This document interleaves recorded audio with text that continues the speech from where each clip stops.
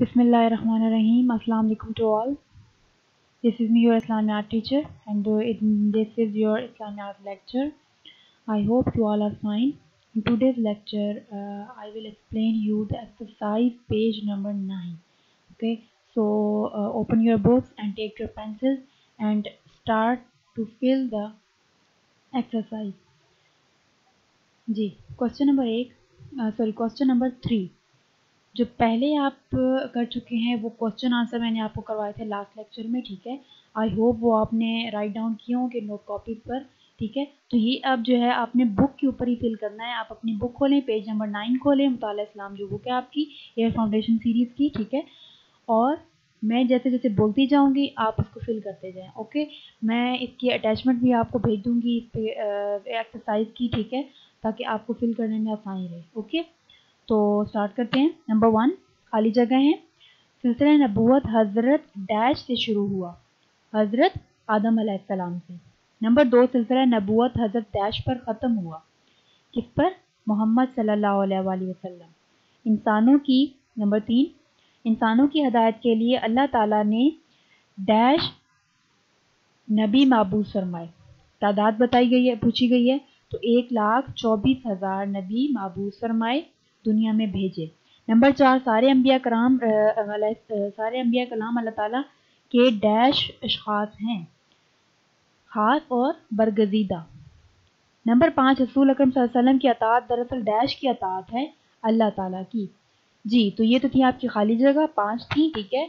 उसके बाद सवाल नंबर चार है, कॉलम अलिफ को कॉलम बे से मिलाएँ, कॉलम अलिफ है अल्लाह ताला ने इंसानों की हदायत के लिए कम व बेश एक लाख चौबीस हज़ार अम्बिया को महबूज फरमाया। सिलसिला नबूत हज़रत मोहम्मद सल्लल्लाहु अलैहि वसल्लम पर ख़त्म हुआ। नंबर तीन है, तमाम मुसलमानों के लिए हज़रत मोहम्मद सल्लल्लाहु अलैहि वसल्लम की अतात ज़रूरी है। नंबर चार देखिए सिलसिला नबूत हज़रत आदम से शुरू हुआ। तमाम अम्बिया और रसूल अल्लाह ताला के बरगजीदा बंदे थे। ठीक है, ये तो हो गए कॉलम। नंबर पाँच सवाल पर आते हैं, दुरुस्त जवाब पर टिक का निशान लगाएँ। नंबर एक नबूत और रसालत का सिलसिला किस नबी से शुरू हुआ? हज़रत नू हज़रत इब्राहिम, हज़रत मूसा या हज़रत आदम सलाम तो हज़रत आदम सलाम ये टिक आपको नज़र आ रहा होगा। नंबर टू नबी अकरम की अतात दर हकीकत अतात है फरिश्तों की अलिया कराम की, जन्नात की, अल्लाह ताला की। तो अल्लाह ताला, यहाँ जो खाना आपका बना हुआ है, ब्लॉक, ठीक है, वहाँ पे आपने टिक करना है। नंबर थ्री आखिरी नबी का नाम क्या है? हज़रत नू हज़रत ईसा हज़रत मूसा या हज़रत मोहम्मद तो आखिरी नबी हम जानते हैं हज़रत मोहम्मद वसल्लम। नंबर तीन नबी करीम की अतात से क्या हासिल होता है? अल्लाह ताला की मोहब्बत दुनिया की मोहब्बत माल की मोहब्बत या आ, माल और लोगों से मोहब्बत? तो किसकी मोहब्बत हासिल होती है आप की अतात से? अल्लाह ताला की मोहब्बत ठीक है? तो ये तो थी आपकी एक्सरसाइज ठीक है? ये जो आप अभी चैप्टर हमारा कंप्लीट हुआ है रीडिंग सेक्शन हमने कंप्लीट किया है क्वेश्चन आंसर हमने किए क्वेश्चन आंसर मैं आपके किसी भी दिन चेक करूँगी, ठीक है? आप जो डेली इसमें कॉपी चेक कराने आते हैं, ठीक है? नोट्स चेक कराने आते हैं तो इनशाला मैं आपका चेक करूँगी, या आपके क्वेश्चन होने चाहिए और बुक का साइज़ भी मैं देखूँगी चेक करूँगी ओके ये आपकी फिल होनी चाहिए। जी तो नेक्स्ट जाते हैं हम नेक्स्ट चैप्टर पे। ठीक है? नेक्स्ट चैप्टर है आपका इबादत, ठीक है? चैप्टर मीन्स आपका उसी का पार्ट है, ठीक है? हमने ईमानियात पहला चैप्टर पढ़ा था, अब जो है वो उसी का पार्ट है इबादत, ठीक है? तो इस्लाम में इबादत का तस्वुर। रीडिंग अब सुन लें। अल्लाह ताला सारी कायनात का खालिक मालिक है, सब जिन्हों किसी के मखलूक हैं और उन्हें अपनी इबादत के लिए पैदा किया। अल्लाह ताला का कुरान पाक में इशाद है, तर्जमा, और मैंने जिन्नों इंसानों को सिर्फ़ अपनी इबादत के लिए पैदा किया है। अब इबादत की बात हो रही है तो अल्लाह ताला ने यही कहा कि मैंने तुम्हें अपनी इबादत के लिए पैदा किया है और जिनों और इंसानों को अपनी इबादत के लिए पैदा किया है, तर्जुमा बताया गया है, ठीक है? अजरायात अजरायात में जो है वो, सत्ताईसवीं जो है वो आयत है, ठीक है? अल्लाह ताला ने इंसानों के लिए किस्म किस्म किस्म किस्म की नियमतें फरमाई हैं अता फरमाई हैं और इन पर तरह तरह के एहसानात फरमाए इन नेमतों और एहसानात का शुक्र अदा करने के लिए हम सब लोगों का या इंसानों का फ़र्ज़ है कि अल्लाह ताला की इबादत करें, इसी के सामने सर झुकाएँ और उसी के अहकाम की पूरी पूरी पाबंदी करें। इस्लाम एक मुकम्मल जबता हयात है, अल्लाह ताला का पसंदीदा दीन है। अल्लाह इस्लाम की कुछ इबादत ऐसी हैं जिनको बजा लाना हर मुसलमान का फ़र्ज़ है। इस्लाम ने इन इबादत को अरकान इस्लाम कहते हैं। ये इबादत अरकान इस्लाम दर्ज है। अब अरकान इस्लाम कितने हैं? ये हम पहले भी पढ़ चुके हैं। नंबर एक, कलमा तयबा, नंबर दो, नमाज़, नंबर तीन, दो रोज़ा, नंबर चार हज और नंबर पाँच ज़क़़त। अब कलमा तयबा को हम थोड़ा सा डिफाइन कर लेते हैं कि ये क्या है? इस पर ईमान जो है वो लाना कितना ज़रूरी है? ला इलाहा मोहम्मद रसूलुल्लाह। कलमा तयबा के पहले हिस्से में तोहीद का ज़िक्र है और दूसरे हिस्से में रसालत का ज़िक्र है। कलमा तयबा का ज़िक्र अफजल ज़िक्र है और सबसे बड़ी इबादत है। कलमा तयबा दुनिया और आखिरत की कामयाबी की बुनियाद है। और इसी ज़िक्र ही से एक मुसलमान अल्लाह ताला का कुर्ब हासिल करता है और उसका मुकरब बंदा बन जाता है। ठीक है?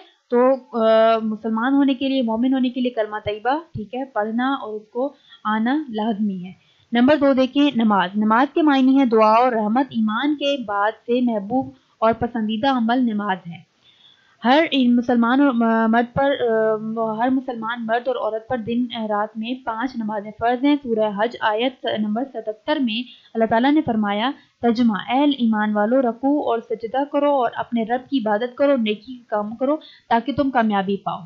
सजदा करने से यहाँ मुराद नमाज़ पढ़ना है, दिन नमाज़ दिन का सतून है, नमाज़ जन्नत की कुंजी है।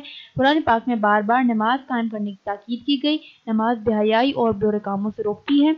नमाज़ में बंदा अपनी पेशानी ज़मीन पर रख कर अपने खाले को मालिक के सामने अपनी आजजी और इंतजारी का इजहार करता है और सिर्फ़ उसी को मबूद समझता है। नमाज़, जैसा कि हम जानते हैं, हम पर पाँच नमाजें फ़र्ज़ हैं, ठीक है, दिन रात में तो हमें उनकी पाबंदी करनी चाहिए। इससे हमें ज़ाहिर होता है कि हम अल्लाह ताला के सामने झुकते हैं और हम उसी को मबूद मानते हैं।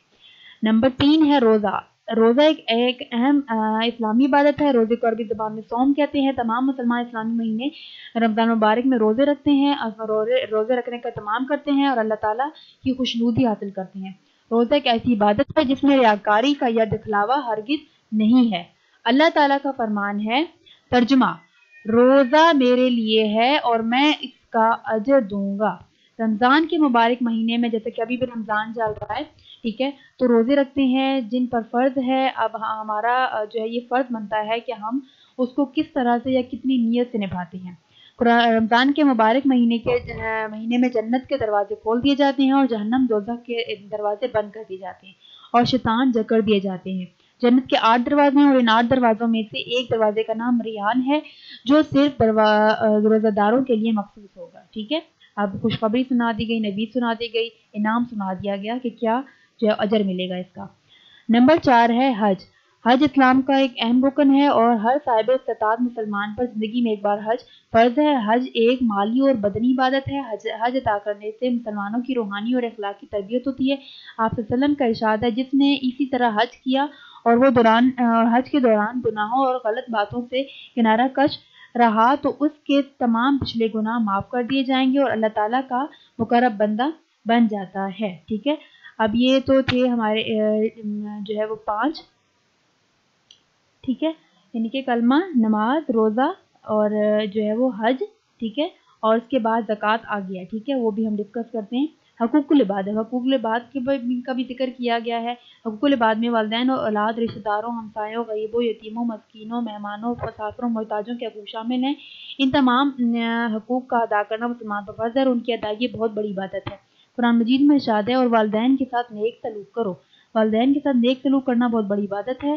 पर गर्ज हर वो काम जिनके करने से अल्लाह ताला ने हुक्म दिया है, जैसा कि सब्र शुक्र, खंदा पेशानी से मिलना, सच बोलना, इमानत में खयानत ना करना उधर गुजर से करना, सब इबादत में शामिल है।